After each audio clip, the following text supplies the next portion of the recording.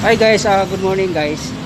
Ah, dito tayo ngayon sa guys sa may ano sa may overpass. Ah meron dito guys saka si Lola. Nakaupo dito. Ah, kausapin natin guys. Dito guys. ah.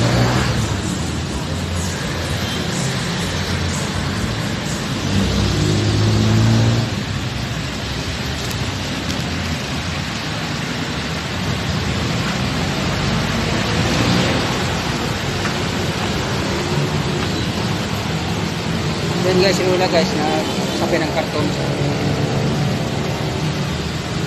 Nagsasapi ng karton guys. Ah, kusapin natin guys. Tara guys, samahan niyo ako guys.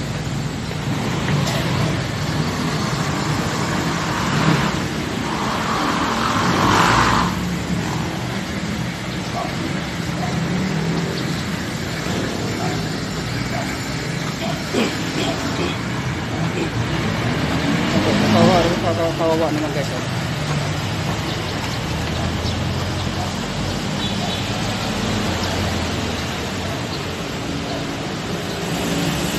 Ano ginagawa niyo dito la?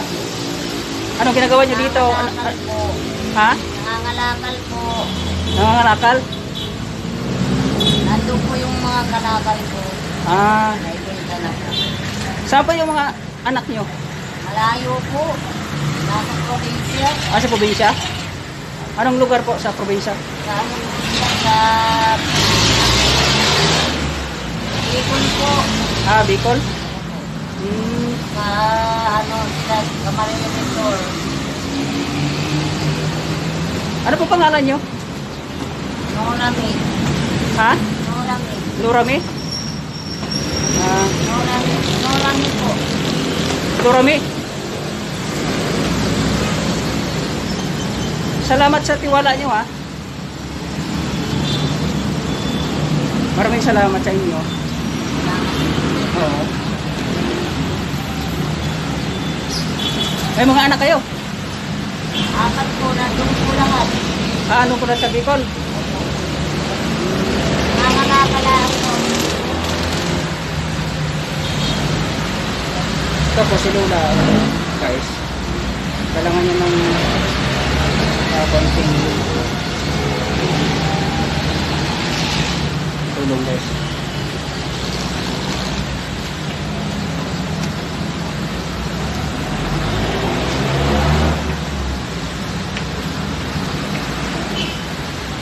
Matagal na kayo dito? Anim na taon na po. Magpipito na. Anim na taon?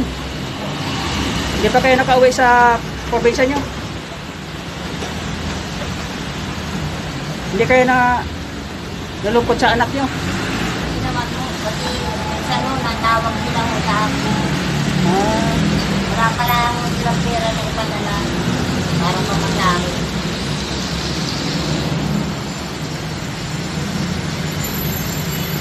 Eh meron akong ano, ibigay sa inyo pagkain. Ah, sana pagpasensyahan ninyo kung ito lang yung kaya ko.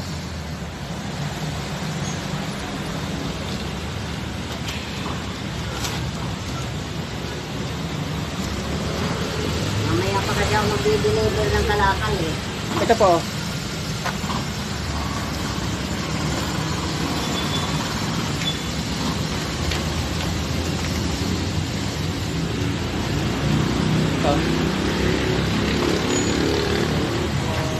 Eh, maraming salamat po.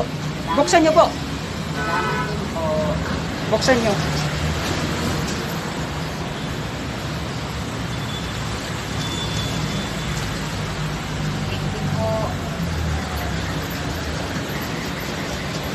Sana makabalik pa ako dito po.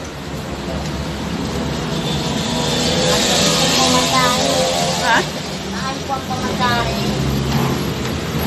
Ang pamasahe. Ah, kam taga Camarines kayo. Oo, eh, wala pang mga, mga, anak ko, wala pa kami pera kaya hindi makapagpadala. Pero padadala na ako. Hindi na makauwi ako. Matanong ko lang po, ilang taon na kayo? Ano ako? Ito po. 69 years old po dito. Ah, dito sa overpass. Ako. Ah, hanap ng kaupo dito sa dito sa overpass para lang makahinga ng konting tulong para makakain.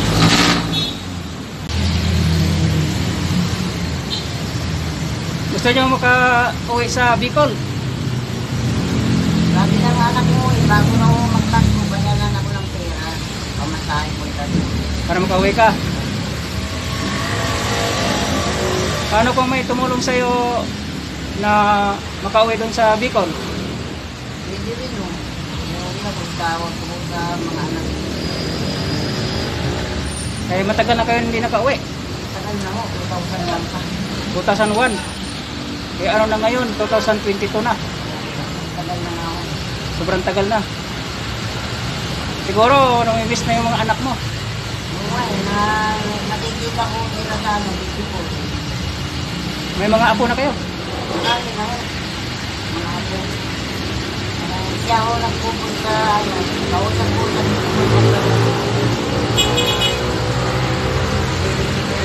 mga apo ko magdadala.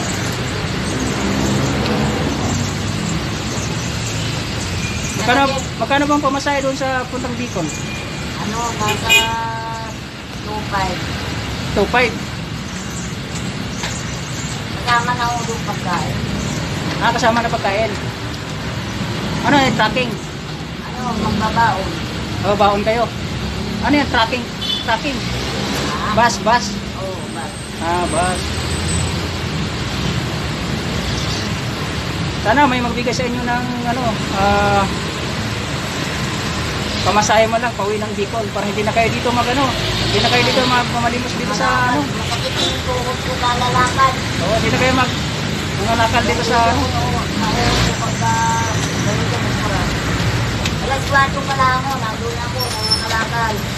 Pagdating ng alas 6, alas 7, nandito na ako. Oo. Nakapagbinta na ako pagkain. Hindi kayo napapagod? Hindi naman no. Yan mo ako natulog sa may, di ba may pizza dyan, sa baba? Yan o. Yan mo ako natulog. Yun guys, ah, gusto ni Lula na makatuloy sa probinsya daw para makasama yung mga anak niya.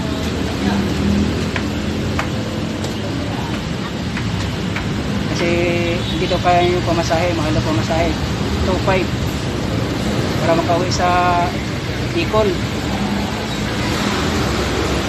Sana guys, ah, matulungan natin si Lola para naman makasama yung pamilya niya sa Bicol. Ah, maraming salamat guys.